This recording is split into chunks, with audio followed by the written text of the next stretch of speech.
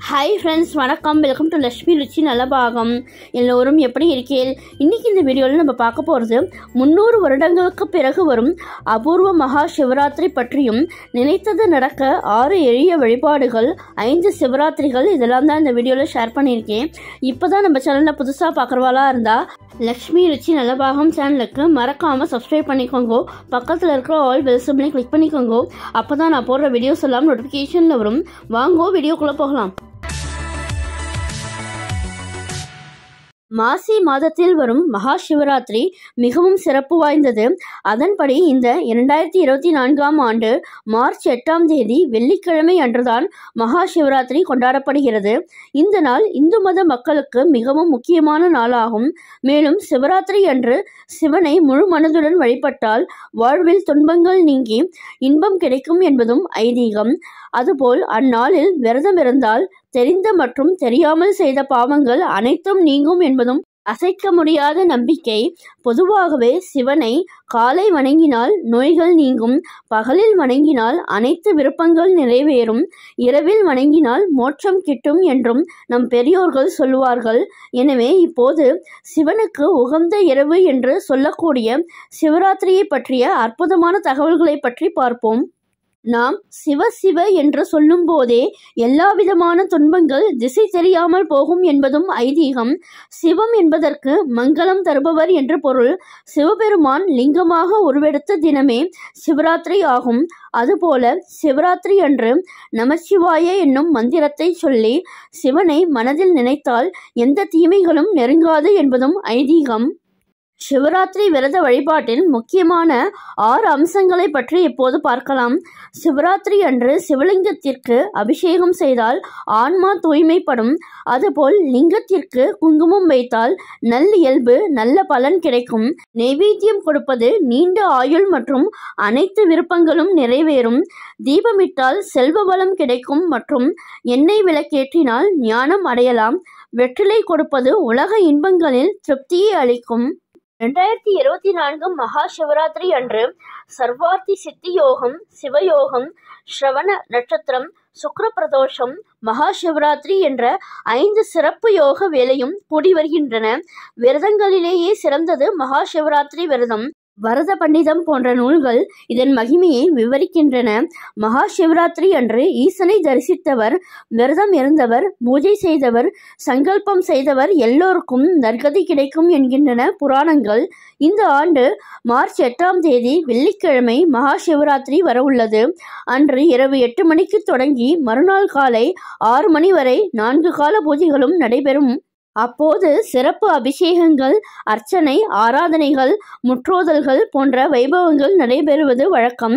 கூடவே ஐந்து யோகங்கள் ஒன்று கூடும். சிறப்பு நிகழ்வும் ஜோதிட ரீதியாக நடைபெற உள்ளதாக கூறப்படுகிறது. இந்த ஆண்டு மகா சிவராத்திரி முன்னூறு ஆண்டுகளுக்கு பிறகு நடக்கும் ஜோதிட அதிசயம் என்கிறார்கள். ஜோதிட சாஸ்திரங்களின்படி இந்த ஆண்டு மகா சிவராத்திரி அன்று சர்வார்த்தி சித்தி யோகம் சிவயோகம் ஸ்ரவண நட்சத்திரம் சுக்கர பிரதோஷம் மகா சிவராத்திரி என்ற ஐந்து சிறப்பு யோக வேலையும் கூடி வருகின்றன. இந்த மகா சிவராத்திரியில் விரதம் இருந்து கண் விழித்து சிவத்தியானம் செய்திட எல்லா காரியங்களிலும் வெற்றி உண்டாகும். வேலைவாய்ப்பு தொழில் முன்னேற்றம் வியாபார விருத்தி அதிர்ஷ்டம் மற்றும் செல்வ செழிப்பு உண்டாகும். மகா சிவராத்திரி சுக்கரவார பிரதோஷத்தில் வருவதால் பொருளாதார சிக்கல்கள் தீர்ந்து செல்வ வளம் சேரும். சர்வார்த்த சித்தி யோகம் என்றால் உங்களுடைய எல்லா விருப்பங்களையும் நிறைவேற்றி வைக்கும் யோகம். இந்த யோக நாளில் ஈசனை வழிபட காரிய தடைகள் அகன்று எண்ணியவை எளிதாக நிறைவேறும். சிவயோகம் என்றால் தியானிக்கும் வேலை இந்நாளில் செய்யப்படும் யோகா தியானம் பிராணாயாமம் மந்திர ஜபம் ஆகியவைகளால் பன்மடங்கு பலன் கிடைக்கும். ரெண்டாயிரத்தி இருபத்தி நான்கு மகா சிவராத்திரி நாளன்று முழுவதுமாக சிவயோகம் எனும் அற்புத வேலை கூடி வருகின்றது. ஸ்ரவண நட்சத்திரம் சனி பகவானுக்குரியது. இந்த நட்சத்திரத்தில் எந்த நல்ல காரியம் செய்தாலும் அது மங்களகரமாக முடியும். இந்த மகா சிவராத்திரி நாளில் சனி பகவானையும் அவரை வழிநடத்தும் ஈசனையும் வழிபட்டால் உங்கள் தொழில் வியாபாரம் பதவி உயர்வு போன்ற விஷயங்கள் திருப்தியாக அமையும். மேலும் உங்கள் ஜாதகத்தில் உள்ள எல்லா விதமான நவகிரக தோஷங்களும் நீங்கிவிடும். ஐந்து யோகங்களும் ஒன்று கூடும். இந்த அபூர்வ மகா சிவராத்திரி நாளில் சிவ வழிபாடு செய்ய தவறாதீர்கள். சிவயோக வேளையில் நீங்கள் செய்யும் வழிபாடு ஈசனின் பரிபூர்ண அருளை பெற்றுத்தரும். உங்கள் வீட்டை பாதுகாப்பாக வைத்திருக்கும். உங்கள் வாரிசுகள் நலமோடு வாழ்வார்கள். சித்தயோகம் கூடி வருவதால் விநாயகப் பெருமானையும் இந்நாளில் வணங்கிட வேண்டும். இதனால் தொடங்கப்படும் சுபகாரியங்கள் அனைத்திலும் வெற்றி உண்டாகும். இந்த மகா சிவராத்திரி காலத்தில் நீங்கள் இருக்கும் விரதம் உங்களையும் உங்கள் சுற்றத்தையும் செல்வ வளமாக்கும் மகா சிவராத்திரி இந்த ஆண்டு வெள்ளிக்கிழமை வருவதால் சுக்கர பிரதோஷம் என்கிறோம். இந்த நாளில் ஈசனுக்கு விரதம் இருந்து வழிபட்டால் நீங்காத துன்பம் தீராத வியாதிகள் குறையாத கடன்கள் அனைத்தும் தீர்ந்துவிடும். குடும்ப ஒற்றுமை மேலோங்கி வாழ்வில் இனிமையும் மகிழ்ச்சியும் நீடிக்கும். வீட்டில் மகா சிவராத்திரி எப்படி வழிபட வேண்டும் என்பதை பற்றி இப்போது பார்க்கலாம். மகா சிவராத்திரி அன்று அதிகாலையில் எழுந்து நீராடி சூரியன் உதிக்கும் போது காலையில் செய்ய வேண்டிய பூஜைகள் போன்றவற்றை செய்தபின் சிவன் கோவிலுக்கு சென்று முறைப்படி தரிசிக்க வேண்டும். வீட்டுக்கு வந்தவுடன் அங்கு சிவராத்திரி பூஜைக்கு உரிய இடத்தை சுத்தம் செய்ய வேண்டும்.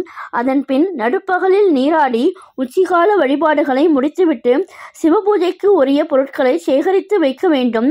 மாலை நேர வழிபாட்டை முடித்துவிட்டு ஏற்கனவே தூய்மை செய்து அலங்கரிக்கப்பட்ட இடத்தில் சிவலிங்கத்தை வைத்து ஜாமத்துக்கு ஒன்றாக நான்கு ஜாமங்களிலும் பூஜை செய்து வழிபட வேண்டும். அன்று இரவு முழுவதும் கண்விழித்து வழிபாடு செய்ய முடியாவிட்டாலும் லிங்கோற்பவ காலமாகிய இரவு பதினொன்று முப்பது மணி முதல் ஒரு மணி வரை உள்ள காலத்திலாவது சிவ தரிசனம் செய்து வழிபட வேண்டும். இது தவிர இந்த ஆண்டு விசேஷ ஐந்து யோகம் கூடும் நாள் என்பதால் முக்கியமாக இந்த ஆறு எளிய வழிபாட்டையும் செய்ய வேண்டும். விநாயகருக்கு அருகம்புல் சாற்றி அவரை முதலில் வணங்கினால் சித்த யோகம் உங்களை சிறப்பாக்கும். சனீஸ்வரருக்கு எல் எண்ணெய் தீபம் ஏற்றி இந்நாளில் வணங்க. ஸ்ரவண நட்சத்திர வேளை உங்களுக்கு சுபயோகத்தை கொண்டு வரும். சுக்ர பிரதோஷம் மகா சிவராத்திரி நாளில் வருவதால் நந்தி எம்பெருமான் வழிபாடும் நலம் சேர்க்கும். சர்வார்த்தி சித்தி யோக நாள் என்பதால் இந்நாளில் குலதெய்வ வழிபாடும் செய்து பித்ருக்களின் ஆசியால் வெற்றி பெறலாம். மகா சிவராத்திரி நாளில் இடர்களையும் பதிகங்கள் பாடி ஈசனை தொழ வந்த தீவினைகள் நீங்கும். வரவிருப்பவை நலமாக அமையும். சர்வ யோகங்களையும் அருளும் இந்நாளில் நான்கு கால பூஜைகளையும் கண்டு தரிசித்தால் இகப்பர இன்பங்கள் யாவும் சேரும். மேலும் மகா சிவராத்திரி அன்று அகோராஸ்திர பூஜை செய்தால் உங்கள் வாழ்க்கையை பாதுகாப்பாக சிறப்புடன் அமையும். இப்பொழுது அடுத்ததாக ஐந்து சிவராத்திரிகள் பற்றிய சிறப்புகளை பற்றி பார்ப்போம். மகா சிவராத்திரி மாசி மாதம் வரும் தேய்பிரி சதுர்தசி நாளே மகா சிவராத்திரி ஆகும். இந்த சிவராத்திரிக்கு வருஷ சிவராத்திரி என்று மற்றொரு பெயரும் உண்டு. யோக சிவராத்திரி திங்கட்கிழமை அன்று சூரிய உதயம் முதல் இரவு முழுவதும் அதாவது பகல் இரவு சேர்ந்த அறுபது நாளிகையும் அமாவாசை இருந்தால் அதுதான் யோக சிவராத்திரி ஆகும். நித்திய சிவராத்திரி. வருடத்தின் பனிரெண்டு மாதங்களிலும் வரும் தேய்பிறை வளர்பிறை சதுர்தசி திதி என இருபத்தி நான்கு நாட்களும் நித்திய சிவராத்திரி எனப்படும். பட்ச சிவராத்திரி. தை மாதம் தேய்பிறை அன்று தொடங்கி பதிமூன்று நாட்கள் தினந்தோறும் முறைப்படி ஒருவேளை மட்டும் உணவு சாப்பிட்டு பதினான்காம் நாளான சதுர்தசி அன்று முறைப்படி வரும் விரதமே பட்ச சிவராத்திரி ஆகும். மாத சிவராத்திரி. மாதந்தோறும் அமாவாசைக்கு முன்தினம் வரும் சதுர்தசி திதியில் வரும் சிவராத்திரியே மாத சிவராத்திரி ஆகும். ஜோதிட சாஸ்திரப்படி இந்த ஆண்டு மகா சிவராத்திரி நாளில் சிவயோகத்துடன் சர்வார்த்த சித்தி யோகம் போன்ற அபூர்வ யோகம் உருவாகப் போகிறது. இது மட்டுமின்றி மகா சிவராத்திரி நாளில் பிரதோஷ விரதம் உள்ளது. ஸ்ரவண நட்சத்திரத்தின் அதிபதி சனி. இந்த நட்சத்திரத்தில் எந்த வேலை செய்தாலும் சனியின் அருள் கிடைக்கும். சனீஸ்வரர் சிவபெருமானின் பக்தர். சிவனின் அருளுடன் சனியின் குளிர்ச்சியான பார்வை உங்கள் மீது இருக்கும். அதனால்தான் இன்று பூஜையுடன் எந்த ஒரு புதிய வேலையையும் தொடங்குவது மங்களகரமானதாக கருதப்படுகிறது. சிவயோக காலத்தில் இவர்களை வழிபடுவதன் மூலம் சிவபெருமானின் பூரண அருள் கிடைக்கும். வீட்டில் சுபகாரியங்கள் நடக்க வாய்ப்பு உள்ளது நம்ம சேனலில் மகா சிவராத்திரி நெய்வேத்தியங்கள் ரெசிபிஸ் ஆல்ரெடி அப்லோட் பண்ணியிருக்கேன். அதோட லிங்க்கு கூட டிஸ்கிரிப்ஷன் பாக்ஸில் கொடுக்குறேன். அதை வேணுங்கிறவா செக் பண்ணி பாருங்கள் பால்குண மாதத்தில் வரும் கிருஷ்ணபக்ஷ சதுர்தசி அன்று வரும் மகா சிவராத்திரி சர்வார்த்த சித்தி யோகத்துடன் மிகவும் மங்களகரமான நாளாக மாறப்போகிறது. இன்று சிவயோகம் மற்றும் ஸ்ரவண நட்சத்திரத்துடன் சர்வார்த்த சித்தி யோகத்துடன் சிவ வழிபாடு நடைபெற உள்ளது. சித்தி யோக காலம் மார்ச் ஒன்பதாம் தேதியுடன் முடிவடைகிறது. இந்த அற்புதமான யோகங்களின் சேர்க்கையால் சிவராத்திரி நாளில் சிவபெருமானை வழிபட்டால் பலன் இருமடங்கு கிடைக்கும். இந்த மகா சிவராத்திரி சிறப்பு வீடியோ பிடிச்சிருந்தா உங்கள் ஃப்ரெண்ட்ஸ் அண்ட் ரிலேட்டிவ்ஸோட ஷேர் பண்ணிக்கோங்க. என்னுடைய லக்ஷ்மி ருச்சி நலபாகும் சேனலுக்கு மறக்காமல் சப்ஸ்கிரைப் பண்ணிக்கோங்க. நான் வேறு ஒரு இன்ட்ரெஸ்டிங்கான வீடியோவில் உங்களை வந்து மீட் பண்ணுறேன் தேங்க்யூ பை